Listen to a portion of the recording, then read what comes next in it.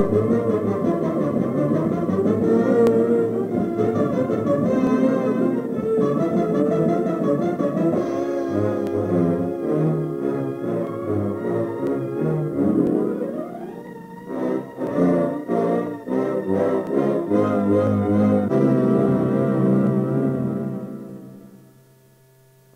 engine inspection and maintenance, whether it be on the Beaver or one of the more complex aircraft, you will use engine instruments every day.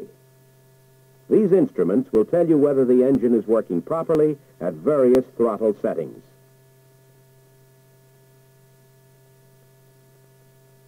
Engine instruments are important to the aviator, too.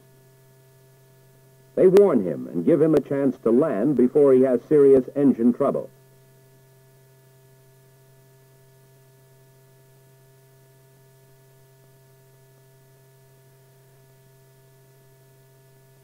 These seven instruments are the basic engine instruments found in most aircraft. We will learn about three types. The pressure instruments, the temperature instruments, and a tachometer. There are three basic pressure instruments. The fuel pressure gauge measures the pounds per square inch of pressure delivered to the carburetor. The oil pressure gauge does a similar job, measuring pressure delivered to the main oil gallery of the engine. The manifold pressure gauge differs from the other two. It reports on the pressure in inches of mercury of the vaporized fuel as it flows from the carburetor to the cylinders. Now, how do these instruments work? Both the fuel pressure and oil pressure gauges contain a Bourdon tube. This is simply a short length of thin wall copper or bronze tubing. It is open at one end and sealed at the other. To be a Bourdon tube, it must be bent to a C shape. Now, how does it measure pressure? Very simple. The open end of the Bourdon tube is coupled to a system where we wish to measure pressure, in this case, the fuel or oil system. Now, as the engine is started, pressure builds up in the system. Pressure also flows into the tubing coupled to the Bourdon tube. As pressure exerts itself, we see how the Bourdon tube works. The pressure tends to force the C shape back to its original straightness. As pressure increases and decreases, the Bourdon tube straightens and curls in proportion to the pressure.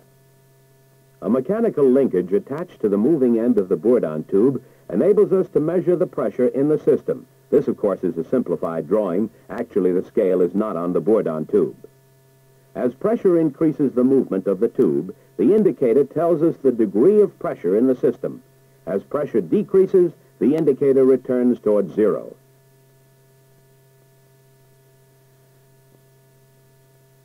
In the instruments, a mechanical linkage attached to the Bourdon tube operates a rotating pointer on a scale.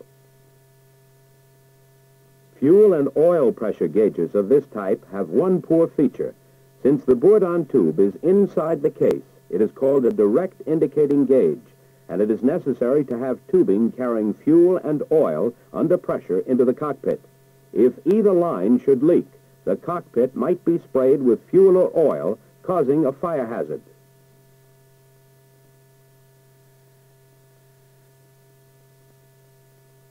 Direct indicating gauges are used, but another type called autosyn remote indicating gauges are preferred.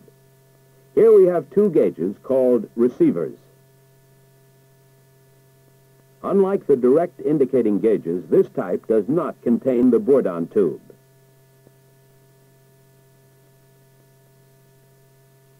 The Bourdon tube is located in a sending unit called a transmitter. Each gauge will have its own transmitter located wherever pressure is to be measured. Remote indicating gauges have only an electrical cable running into the cockpit. The cable connects two parts of a device called an autosyn or remote indicator.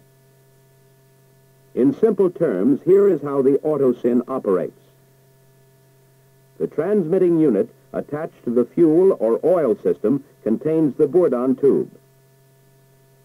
When pressure is applied, the Bourdon tube uncurls, turning the rotor. Located in the cockpit is the other half of the autosyn, the receiver. When the rotor of the transmitter turns, the rotor of the receiver also turns, moving in the same direction. An indicator pointer is attached to the rotor. Connecting the transmitter to the receiver are electric wires. When the rotor of the transmitter is repositioned by the Bourdon tube, the rotor sends a signal to the receiver. The receiver responds to the signal by turning in the same direction. Autosyns have two advantages. They make fuel and oil lines in the cockpit unnecessary, and they simplify installation in large multi-engine aircraft where engines are distant from the cockpit. Autosyns may be used on all of the pressure instruments, as well as many other aircraft instruments. We've learned how Bourdon tubes actuate fuel pressure and oil pressure gauges. Now let's turn to the manifold pressure gauge.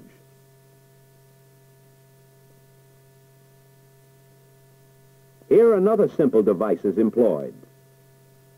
To measure manifold pressure, an aneroid and a diaphragm bellows are used.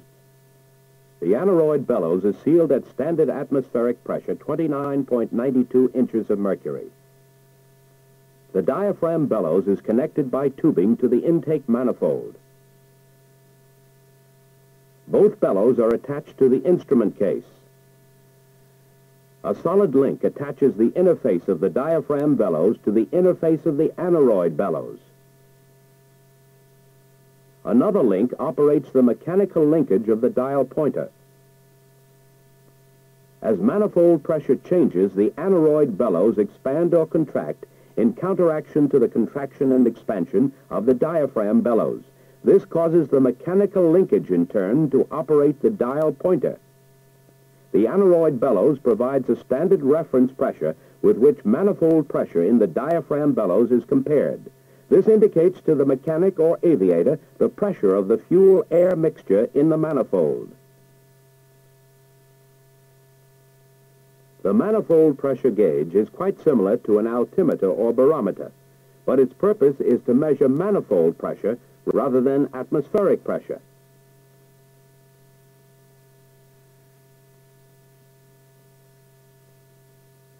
Remember these facts.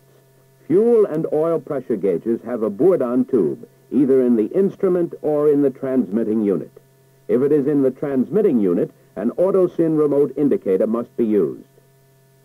The manifold pressure gauge has an aneroid, which detects changes in pressure and a mechanical linkage to operate the pointer on the dial. An AutoSyn may be used to indicate manifold pressure. The temperature instruments are all remote indicating thermometers. They measure the temperature at various points on the engine and indicate it on the instrument panel. There are numerous temperature measuring devices, but only three are used in these instruments. They are the vapor pressure thermometer, the Wheatstone bridge thermometer, and the thermocouple. Let's take a look at their working principles. The vapor pressure thermometer is a very simple device. It consists of a metal bulb with small diameter tubing running to a Bourdon tube. The bulb, tubing, and Bourdon tube are filled with a volatile liquid which is sensitive to changes in temperature. When the fluid is heated, it vaporizes and expands. This causes the Bourdon tube to straighten and operate a mechanical linkage in the instrument.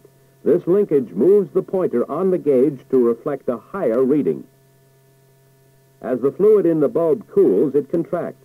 The Bourdon tube curls and a lower temperature is reflected on the gauge. The vapor pressure principle is used in oil temperature gauges. Here we see the bulb which is inserted in the oil system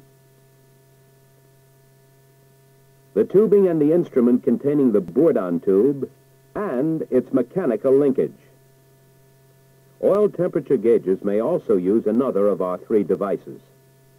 The Wheatstone bridge thermometer is an electrical device. It is frequently used in multi-engine aircraft where long lengths of liquid-filled tubing would be impractical. The Wheatstone bridge thermometer has a bulb which is inserted at the point where temperature is to be measured. This bulb, however, is not liquid-filled. It contains a resistor of special wire which increases its resistance to the flow of electricity as its temperature rises. From the resistor, wires run to the thermometer instrument in the cockpit. Located in the instrument are two coils and a resistor, which are not affected by heat. The pointer is attached to a D'Arsonval galvanometer for measuring the flow of electricity. The dial is calibrated in degrees of temperature. As the heat-sensitive resistor rises in temperature, it resists the flow of electricity.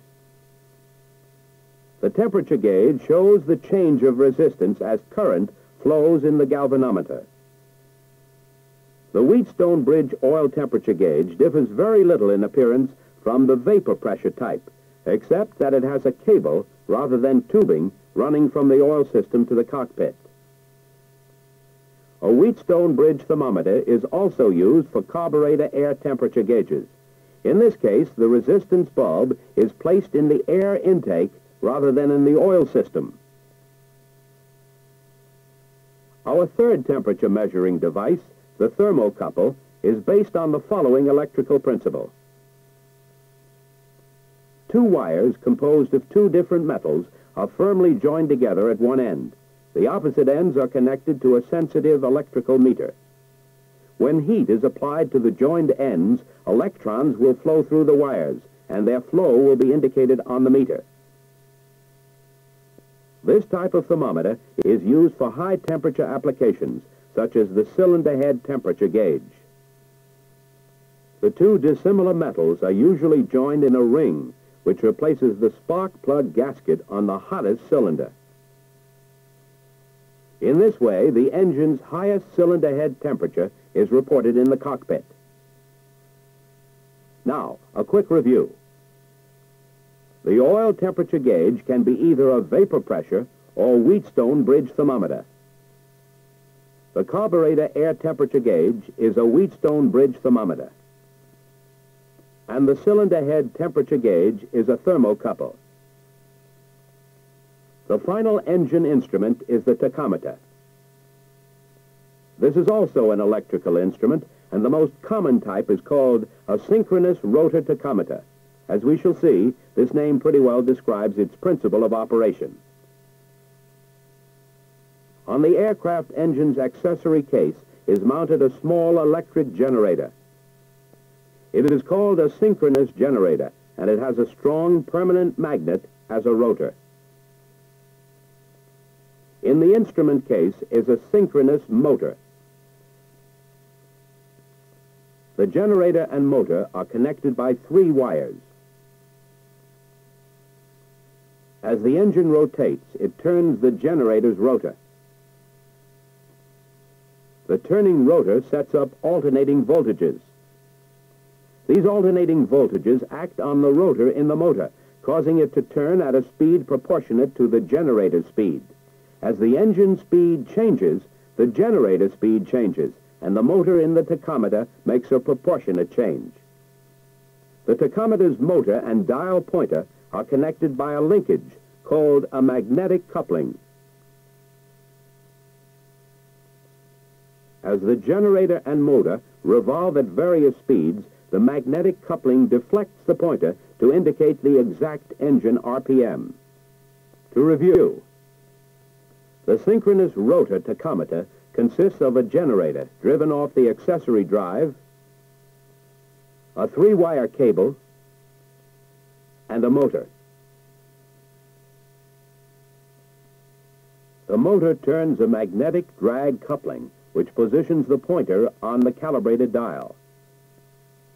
The tachometer is perhaps the most important instrument used for troubleshooting.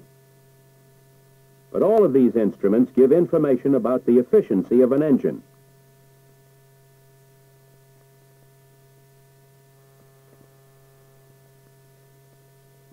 They provide a constant check on conditions inside the power plant. Without pressure, temperature, and RPM instruments, an engine could destroy itself before anyone is aware of its happening. Engine instruments give a warning before serious damage is done.